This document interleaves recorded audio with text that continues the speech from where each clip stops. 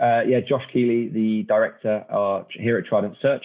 Uh, I lead on the cyber threat intelligence team, uh, ex-military myself, um, and we set up Trident back in 2020, so just before the uh, the pandemic. So today, um, what I'd like to do is kind of give um, a rough kind of uh, guide of the different routes um, and career pathways into the CTI world. So just to kind of start right at the beginning, let's look at the different types of employers. So we have three kind of main common employers. Number one being vendors. So CTI vendors, your sort of software um, as a service, subscription led platforms that customers subscribe to. Then you have consultancies, uh, which are predominantly kind of strategic threat assessments. Um, you have things like M&A assessments. You have threat-led pen testing, things like uh, CBEST, Tiber, ICAST. And then finally, we have what we call the end users. End users are typically FTSE 250s, uh, organizations that are large enough to have um, an in-house CTI team, which is quite can be seen as quite a luxury. So they kind of three types of employers. Let's talk now at the kind of or look at the different levels um, of uh, less career, I suppose, within CTI. So you start kind of uh, at entry level, we'd call sort of CTI researchers. Um, you then kind of go into the uh, analysis team or analyst as an analyst. Um, you then move to more consultant sort of level roles, which would be if you think about client facing stuff, um, client facing work, uh, and then moving up into leadership. So leadership could be like heads of threat intelligence, director of threat intelligence. Um, that can either be leading by example or leading uh, in terms of headcount and, and, teams, or both. So just before we go into the actual different types of uh, pathway, just just want to reiterate here, this is this is just a guide. Um, there are lots of different variables and factors that depend on your entry into the industry, um, and that could be uh, as one example, you could be a sergeant major um, in the military that wouldn't necessarily be able to come in at analyst level because one, um, compensation doesn't sort of fit lifestyle, and two, you might have some great leadership skills that just because you're not going to be as technical as an analyst, you could be um, you could walk into a, a, leadership role that's not non-technical, for example. Typically, uh, here at Trident, we see kind of two different sort of routes into CTI. We'll talk, we'll talk first about the technical route and then we'll sort of move on to the someone that's come from a non-technical background. So first of all, technical um, or someone that's come from a technical career previously. Let's talk about like an IT professional, for example. Um, how do you bridge that gap and make the, uh, I suppose, a jump into a, a career into CTI? First of all, you should already come with the kind of foundational level of technology uh, or technological understanding. So what you need to be able to demonstrate and uh, I suppose upskill within would be things like cyber threats, APT groups, looking at kind of the CTI frameworks that the that analysts and consultants and managers use um, to build things like reports and analyze, and then moving on to things like tools. So not necessarily just theoretical knowledge uh, by doing certifications, but actually getting hands on to some of the tools that are out there, which many of them are free to use. Um, once you kind of built on that uh, kind of, or you've kind of immersed yourself in a cyber uh, understanding and uh, things like threat, uh, like cyber threats. You could then um, go one step up, which could be looking at certifying uh, in the CTI space. And depending on, again, it depends on what level you come in at.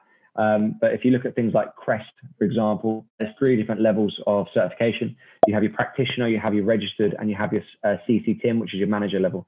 So again, that's just going to demonstrate to an employer um, your I suppose, proactiveness and the fact that you have bridged that gap and you've got a basic competency level, depending, of course, on what certificate you go for. Let's now move on to the kind of non-technical, um, I suppose, career background. So how do you bridge that gap? How do you make entry into the CTI world? And again, it doesn't matter uh, what level you come in at. You can certainly, with no experience at all, going at higher than a researcher. It just depends on what career pathway you've come from. So, for example, if you are a, um, you might come from a customer service background or a consulting background, but no CTI, you can certainly come in at a consultant level as long as you've added the other kind of elements to your um, your toolkit or your arsenal. So, how do you make that um, that move into CTI with no technical experience? Obviously, you have to start right at the bare basics in terms of technology. Things like uh, there are, there's a certification body called CompTIA, where you have different levels again of um, certification, starting with A plus then you go to Network Plus, Security Plus. Are they kind of three um, common uh, certifications that again demonstrate that you have upskilled, you've studied, and you've been able to sh- or demonstrate a level of competency from a technology point of view. And then kind of so that's your foundation built there, and then you want to sort of um, I suppose um, build on that again, with things like a CTI uh, specific qualification, looking at CREST again, you could also look at other governing bodies like EC Council or SANS, um, depending on your motivations and, and I suppose your budget. Yeah, that's kind of like uh, if you're non-technical, uh, do your technical um, certifications first, demonstrate that, and then build on your actual CTI specific. Also, while doing things like cyber threat um, uh, kind of uh, knowledge building, APT groups, frameworks, toolings, the same as if you're from a technical background. So let's look at some uh, benefits that different, I suppose, career paths can have when you are moving into the CTI uh, industry. So uh, some examples, you're an IT professional, you're an infrastructure engineer for the last five years, you have a skill set that's in high demand in the CTI industry. When we speak to hiring managers frequently, uh, a big skills gap in a team will be the technological understanding things like Active Directory, cloud infrastructure, uh, whether it's AWS, Azure, or GCP, things like uh, basic networking, understanding what an IP address is, what a subnet mask is. Um, that technology understanding is a massive benefit and a big value add. Uh, if you can then build on that and um, I suppose upskill yourself in the CTI landscape um, and just against cyber threats, etc. So that's um, massive uh, value add if you're coming from the IT background. Moving on to another kind of common um, industry uh, well, background would be something like a journalist or a reporter. Uh, kind of flip it on its head from if you compare against IT. Uh, you don't have, well, you tend to not have much technical experience, but you've got some great report writing skills. You have great, probably geopolitical understanding as well. Um, so all you got to do is then marry that up with your IT understanding, and again, that can make a, a quite a good holistic CTI professional. Um, moving into the obvious one, which is um, the veteran or law enforcement depending on what career you've had within the in the service. Um, well, of course, depending on what um, benefit you can bring to the industry. But let's say someone from the Int Corps is quite an obvious um, choice. You've got great human intelligence, um, open source intelligence, and you'll understand things like the frameworks, the life cycle. Just now, again, you've got to apply more cybersecurity knowledge to that. And you, again, you're a ready-made CTI professional. If you are someone who's got no experience in uh, maybe from a, I don't know, a different regiment within the uh, military, then again, you've got to start building your technical layers. On top of that, your, your CTI knowledge. Um, again, you bring so many um, benefits and resources to the industry, things like soft skills and things like professionalism. Uh, you're conditioned to arduous working environments.